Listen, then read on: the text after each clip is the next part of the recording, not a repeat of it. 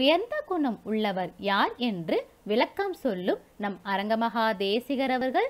வாங்க என்ன சொல்றாங்கன்னு கேட்கலாம். நாலு நாளுக்கு நாள் வளர்ந்து கொண்டே இருக்கு. மேலும் வளரும் மேலும் வளர்ந்து கொண்டே இருக்கு. இதுக்கு என்ன செய்ய சிந்தை உயர்ந்துக்கிட்டே இருக்கு. சிந்தை உயர்ந்து சங்கம் வளருது. தொண்டர்கள் அத்தனை பேரும் உயர்ந்த தொண்டர்கள். அதை முத நான் என்ன செஞ்சேன்? முதல் வணங்கும் போதே அத்திய சர்மாக திருவடியை வணங்கினேன். இந்த சங்கத்துக்கு யார் யார் பொருளுதவி செய்கிறார்களோ அவர்கள் திருவடியை வணங்குகிறேன். மலேசிய நண்பர்கள் மற்ற நாட்டில் உள்ள நண்பர்கள் திருவடியை வணங்குகிறேன்னு சொல்லும்போது அவர் நீடு வாழ வேண்டும். இந்த குடு இந்த இந்த குடியில் இருப்பவர்கள் யாரேனும் பசியோடு இருக்கிறான்று முத யார் அதான் அடிப்படை எடுத்துக்குவோம். எல்லாம் சாப்பிட்டாங்களா? சாப்பிட்டாங்க. யாருக்கும் எந்த குறையும் இல்லை. எல்லாரும் பசியாறி இருக்காங்க. ஒருத்தர் ஒருத்தர் வெகுழப்பம் இல்லை. அப்போ குடியில் உள்ளவர்கள் இந்த குடியில் சேர்ந்தவர்கள் அகத்திய சன்மாச தொண்டர்கள் குடியில் உள்ளவர்கள் அத்தனை பேரும் எந்த குறையில்லாமல் இருக்க இருக்க இருக்க வேண்டும் நினைக்கிறவன் நான். இதில் தான் தலைவன் தங்கியிருப்பான். ஆகவே இந்த இந்த த- இங்கு நம்மை சார்ந்தவர் நல் நல் நல்லபடி இருக்க வேண்டும் மகிழ்ச்சியாக இருக்க வேண்டும் நினைப்பதே ஒரு உயர்ந்த எண்ணமாகும். இந்த எண்ணம் யாரால் வரும்? ஆசான் அகத்தீசனால் வரும். சரி என்னிடம் பொருள்பட்டிருந்தால் என்னாகும்?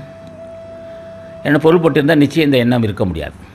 ஆசானை கேட்டேன். அடியின் பொருள் பற்று இல்லாதவனாக பொருள் பொருள்பற்று அல்லா இல்லாதவனாக இருக்கணும்னு கேட்டோம்.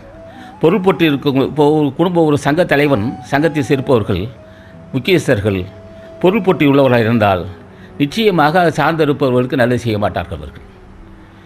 காரணம் அந்த எண்ணம் பொருள்பட்டு உள்ளவர்கள் நிச்சயமாக பொருள்பட்டு உள்ளவர்களிடம் சார்ந்து வேலை செய்ய இருப்பவர்களுக்கு நன்மை அடைய முடியாது.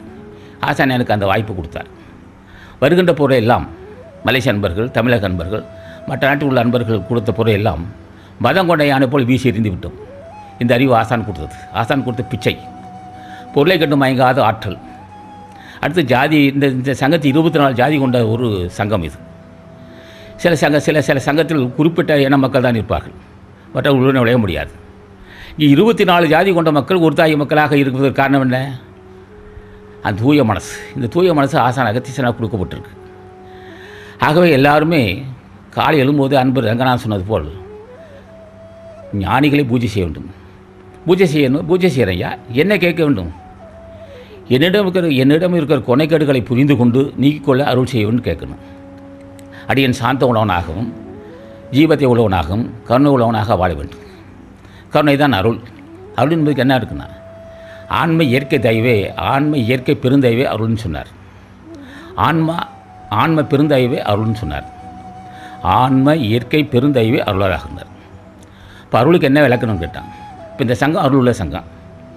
இப்போ ஆறாயிரம் பேர் சாப்பிட்ருக்காங்க தினம் மக்கள் சாப்பிட்டுக்கிட்டே இருக்காங்க. இது அருள் சங்கம். எங்கே க எங்கே வந்து நற்காரியம் நடக்குதோ அங்கே அருள் இருக்குன்னு அர்த்தம். தொடர்ந்து நற்காரியம் நடந்துக்கிட்டே இருக்கணும். இப்போ குடும்பத்தில் ஒரு ஒரு சிறந்த குடும்பம் இதுன்னு கேட்டான். மாத இருவருக்கும் அந்த குடும்ப தலைவி. ஆசானது அருளுரைகளை தொடர்ந்து கேட்க அரங்கர் டிவிக்கு லைக் பண்ணுங்க சப்ஸ்கிரைப் பண்ணுங்க. மறக்காம பெல் பட்டனையும் கிளிக் பண்ணுங்க.